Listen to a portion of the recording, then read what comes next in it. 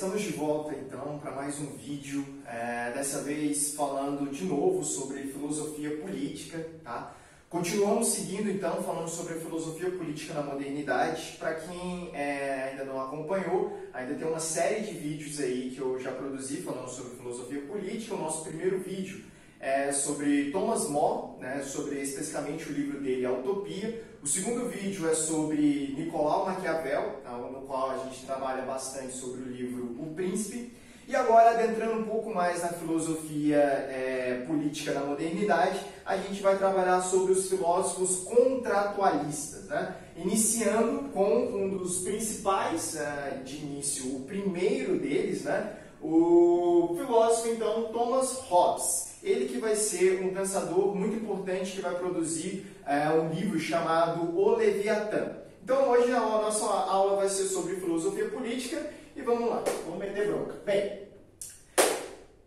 menino Thomas Hobbes, então. Meninos Thomas Hobbes, o que, que acontece? Antes de mais nada, quero que vocês entendam que ah, o contratualismo, essa teoria política que vai surgir na modernidade, ela vai ter início, então, com o pensamento do Thomas Hobbes, certo? Só que logo após o pensamento do Thomas Hobbes, vai vir também outros pensadores que irão produzir um pensamento semelhante a eles no que se diz a respeito ao seu método. Tudo bem? Entretanto, será totalmente diferente em relação ao seu conteúdo. Uh, logo após o Thomas Hobbes, a gente vai ver também as obras do uh, John Locke, tá? E posteriormente a gente vai ver as obras do Jean-Jacques Rousseau, que são pensadores conhecidos como contratualistas, porque todos eles utilizaram um método semelhante ao método utilizado pelo Hobbes, é, mas sobretudo eles colocaram uma nova visão, colocaram uma nova interpretação política nesse método iniciado pelo Thomas Hobbes, chamado então de contratualismo.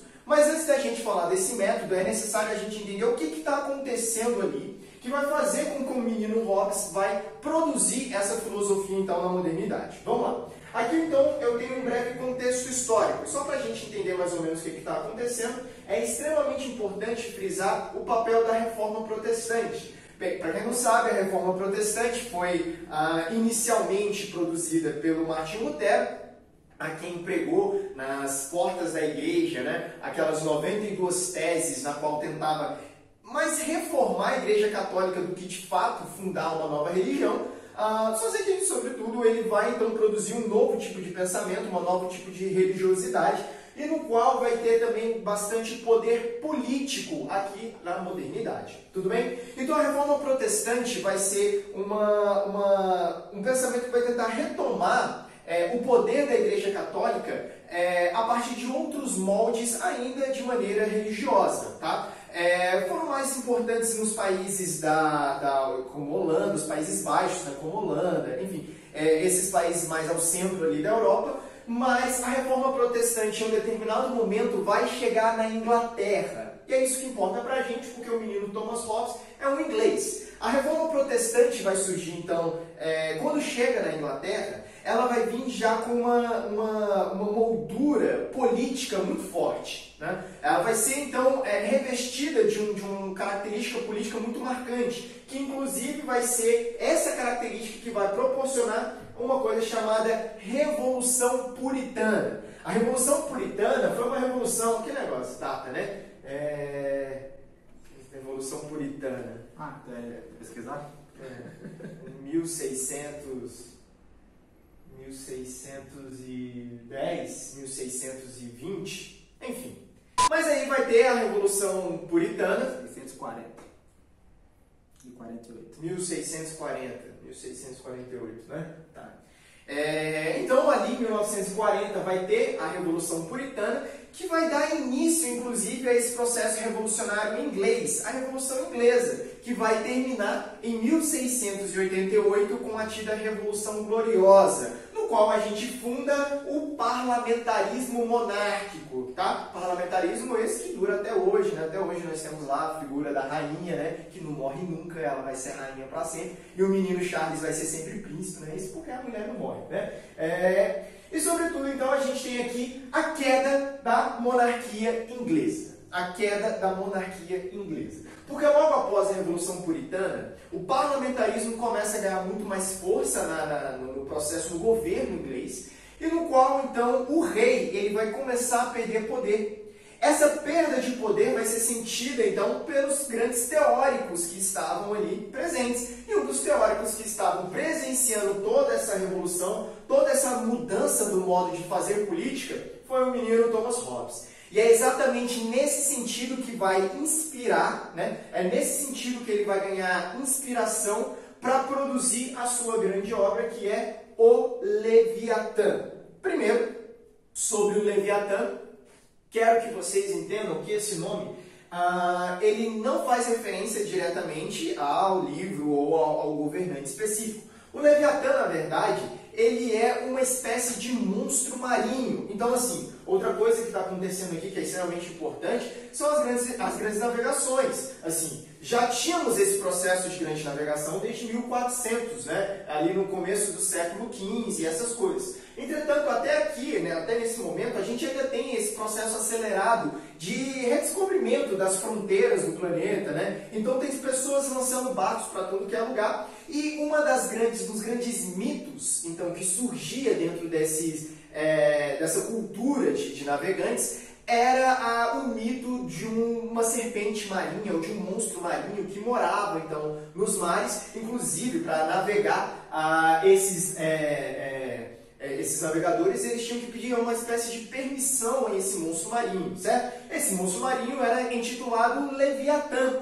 Esse nome também já apareceu em alguns trechos da Bíblia. Para quem não sabe, né, ah, na passagem do livro de Jonas, no qual ah, Jonas estava indo até Nínive, né, é, é, Deus manda ele ir até Nínive, ah, Jonas fala que não quer ir, ele vai para outro lugar, e no meio então da embarcação que o Jonas estava, aparece um grande peixe, faz a embarcação naufragar, o grande peixe devora Jonas e leva ele até Nínive. Né? Em alguns momentos, esse grande peixe também é conhecido como o Leviatã. Tá? Então, o Leviatã ele tem essa espécie de soberania dos mares. Ele é o grande governante dos mares. E é, essa, é, é, é esse sentido, né? sobretudo também, é um governante que traz medo nos navegadores. Então as pessoas, quando eles vão navegar, eles respeitam o Leviatã porque eles têm medo do que possa acontecer com eles. Então, quando o menino Hobbes vai trazer o título do seu livro de O Leviatã, a ideia é, esse, é trazer esse, essa espécie de é, arcabouço psicológico que está envolvido, todos esses termos e tudo aquilo que estava acontecendo ali, para exatamente tentar destrinchar politicamente o que está acontecendo ali. Não só politicamente, mas também filosoficamente. Tudo bem? É nesse sentido, então, além desse fortalecimento do parlamentarismo que eu falei, é nesse sentido, então, que o menino Hobbes vai fazer um método de análise. E aqui é extremamente importante a gente perceber esse método de análise, porque oriundo dos dois pensadores que nós vimos inicialmente, nas nossas aulas anteriores, como o Thomas Morus, ou Thomas More, e o Nicolau Maquiavel, foram dois pensadores que produziram é, teorias políticas divergentes. Por exemplo, o menino é, Morus, né, ele produziu uma filosofia política utópica, né, idealista, que pensava nas questões como pensava na política como ela deveria ser enquanto que o Maquiavel ele era um, um, pensador realista, né? um pensador que produz o realismo político, porque pensava a política como ela é. Aqui no caso do Thomas Hobbes, se a gente pudesse de alguma maneira é, entender que esses pensamentos o influenciaram, lembrando que o Thomas More ele também era inglês, né? então é, tá todo mundo ali mais ou menos em casa, vamos dizer assim. É, eu posso dizer mais ou menos que o Thomas Hobbes ele faz uma espécie de união entre o idealismo político do Thomas More e o realismo político do Nicolau Maquiavel. E ele produz esse novo método de análise político, no qual vai ser chamado contratualismo. Tá? O contratualismo, então, é basicamente um método de análise a respeito dos processos políticos que estavam acontecendo, dividido em três etapas. Então, prestem atenção, prestem bastante atenção.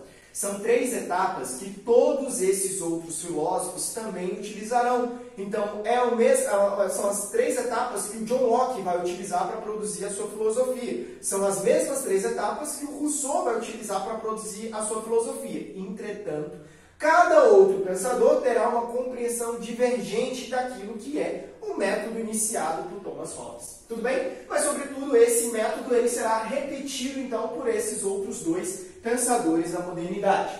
Esse método, então, ele é dividido em três etapas. Primeira etapa é o estado de natureza. O estado de natureza é basicamente a compreensão dos indivíduos enquanto eles estivessem uh, em uma espécie de isolamento natural. Ou seja, é como se o indivíduo estivesse inicialmente surgido de maneira isolada da natureza. Quais são as características desse indivíduo que é exclusivamente voltado para uma questão da natureza? É isso que a primeira etapa do método contratualista tenta investigar. Ou seja, qual é a natureza dos indivíduos? De onde eles surgem? Quais são as, as características que os formam, da qual a gente pode é, é, é, desenvolver, então, daí um pensamento político.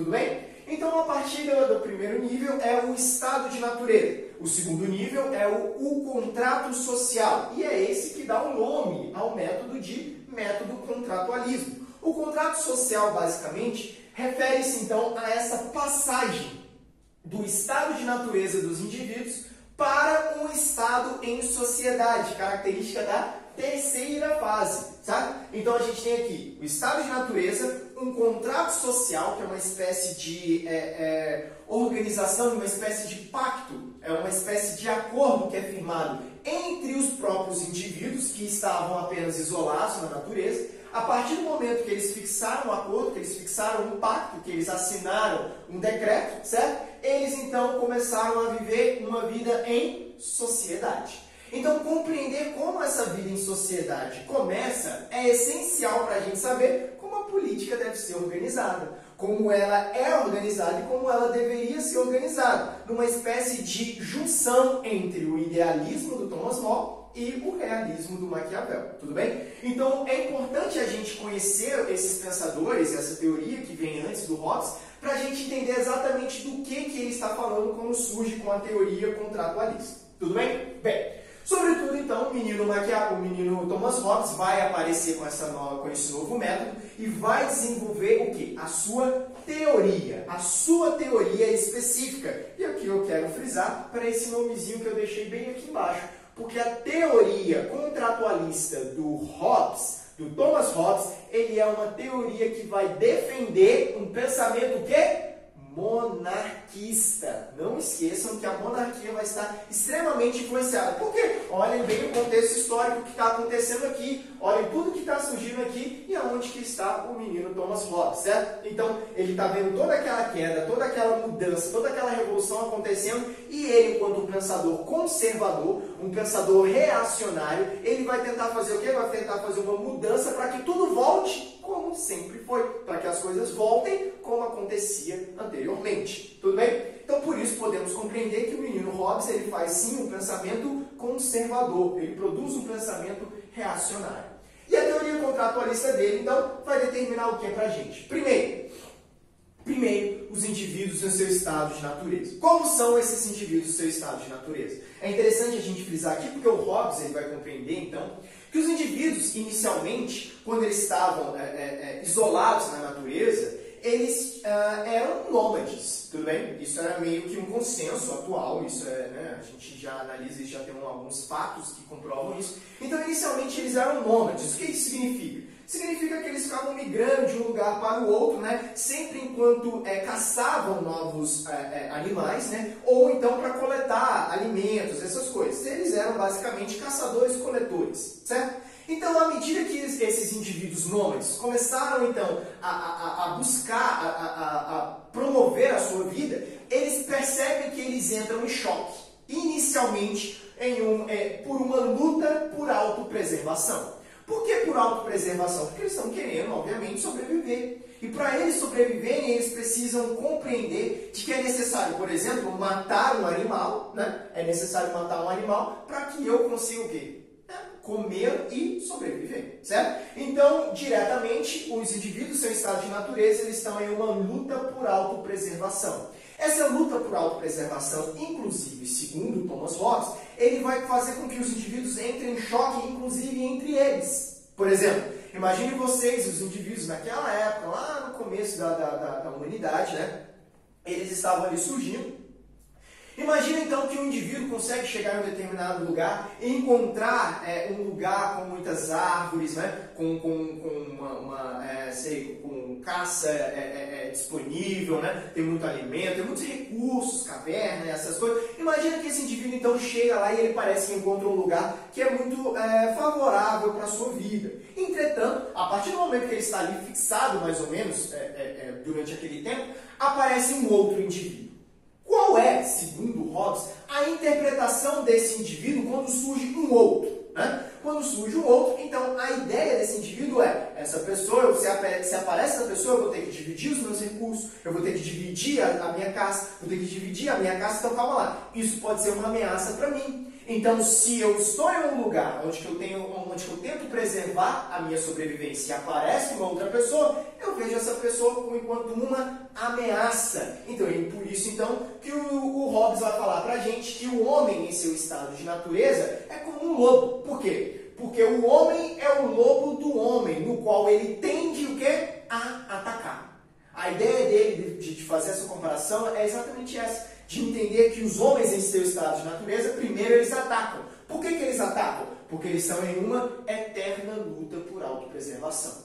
Tudo bem? Então, se estamos em uma, auto, uma luta de autopreservação e no qual os homens são o lobo do próprio homem, né? Então significa que, segundo Hobbes, o homem naturalmente, né, seu estado de natureza, ele nasce mal. Ele nasce mal. Por quê? Porque se ele nascesse bom, ele teria naturalmente a capacidade do bom convívio. E a gente percebe socialmente que isso não acontece. A gente percebe que é muito mais fácil alguém montar em cima de uma outra pessoa, né? passar por cima de outra pessoa para exatamente é, ser beneficiado, do que simplesmente é cooperar, né? dividir essas coisas. Então, de onde que surge? Segundo Hobbes, surge da própria natureza dos indivíduos, que são maus, maus por natureza. Essa daqui é o que nós chamamos de teoria do mal selvagem. Tudo bem? E assim, então, a gente entende como são os indivíduos em seu estado de natureza. Então, preste atenção. Se os indivíduos são maus em seu estado de natureza, é necessário o quê? É necessário o quê? Controlá-los. É, é, necessário, é necessário é, é, é coibi-los. Né? E para fazer isso, o que, que é necessário ser feito? É necessário, então, ser feito um contrato social. É nesse momento, então, que o Hobbes vai trazer para a gente a ideia que todo indivíduo, além de nascer mal, ele nasce também com apenas um, um, apenas um, um direito natural e inalienável. Natural e inalienável significa que todo mundo nasce, porque ele é natural, e ele é inalienável porque eu não posso dispor dele, eu não posso simplesmente entregá-lo para alguém. Eu nasço com ele e eu vivo com ele eternamente. E qual o direito natural? Natural nesse sentido é quase um direito dado, concebido por Deus. Segundo Hobbes é nesse sentido mesmo. Então, um direito natural que é dado para os indivíduos, qual é ele? Segundo Hobbes, é o direito natural à vida. Todos os indivíduos têm o direito à vida e isso remete o quê? Remete que ninguém tem o direito de tirar a vida de ninguém. Olha só que interessante. Então, se o direito à vida é um direito natural, é um direito inalienável, é um direito sagrado, então significa que o dever do Estado, ou o dever das pessoas enquanto é, é, entes coletivos, né, é preservar por essa vida, preservar por esse direito à vida. É por isso então que no contrato social a principal característica que o Hobbes vai trazer para a gente é que para garantir a nossa vida, a primeira coisa que a gente deve fazer, lembrando que para garantir a nossa vida, que é o direito mais elevado, o direito a, a, a, natural, não é isso? Para garantir esse direito, para garantir a vida, é necessário que nós o quê? Abdicamos de nossa liberdade. O que, é liberdade? Liberdade é, por exemplo, eu ir na casa do fulano, chegar lá, né, é, é, roubar o que ele tem né, e ir embora para minha casa. Eu posso fazer isso? Posso, eu tenho a liberdade de fazer isso. Só que eu tenho que arcar com as consequências dessa minha liberdade. Nada impede né, desse indivíduo, né, que eu acabei furtando na casa dele, ele invadir a minha casa, só que dessa vez ele não vá para furtar, ele vá para me matar. Ele chega lá e me mata. Ele tem o direito de me matar? Então calma lá para que evite que essa escalada de conflitos chegue a determinado momento, é preciso então abdicar da liberdade para que todos garantam a sua segurança, para que o Estado então tenha como prioridade a garantia a vida dos indivíduos. Para isso, então, o Estado em sociedade é formado. Ele é formado de qual maneira? Inicialmente, enquanto um Estado soberano. Por que, que tem que ser um Estado soberano? Porque se não for um Estado soberano, os indivíduos podem começar a fazer aquilo que eles bem entendem. E não é isso que eu quero, porque eu tenho que o quê? Limitar a liberdade desses indivíduos. Porque se eu não limito a liberdade desses indivíduos, eu promovo o quê? Uma ameaça à vida. Eu vou arriscar a vida e vou arriscar a segurança. Por isso, então, é necessário um Estado soberano, um Estado presente, um Estado que faça todas as ações, que, que esteja presente em todas as ações dos indivíduos, que seja capaz né, de o quê? De ter uma força coercitiva, né? que seja capaz de coibir esses indivíduos. Como assim coibir?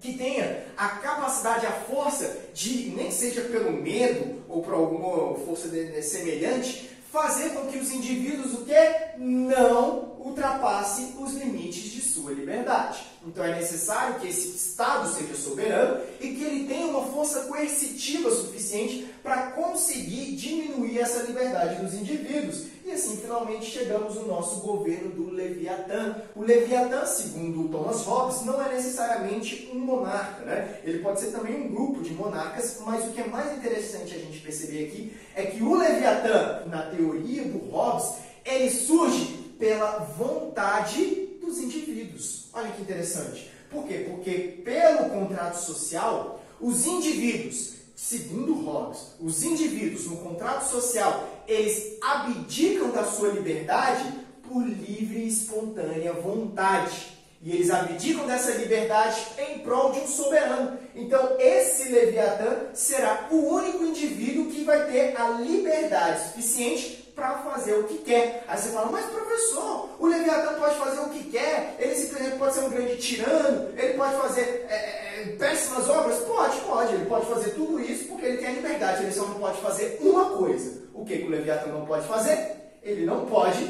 tirar a vida de nenhum súdito. Porque se ele tira a vida de algum súdito, ele está indo contra o contrato social, ele está quebrando o contrato social. Ele está quebrando o contrato social, ele está quebrando também aquilo que legitima ele ser o governante. Então, se ele mata alguém, ele não tem mais o direito de ser governante. Ele pode fazer tudo, apenas não pode tirar a vida de ninguém. Tudo bem? Bem, pessoas, a aula de hoje, então, nós falamos sobre o menino Thomas Hobbes, sobre a sua teoria política da modernidade. Basicamente, traçamos alguns perfis daquilo que ele trabalharia para fortalecer uma espécie de monarquia política, né? uma retomada do pensamento monárquico aqui na política, certo? Para mais vídeos, então, sobre Jean-Jacques Rousseau e sobre John Locke, continue acompanha, acompanhando a gente, tudo bem? Por mais Fico por aqui. Não esqueçam de dar aquela curtida, dar, fazer aquele comentário, né? No, se inscrever no canal, deve estar por aqui, ó, pra lá, né? Se inscrevam no canal, alguma coisa assim. E no mais, tamo junto e é nóis!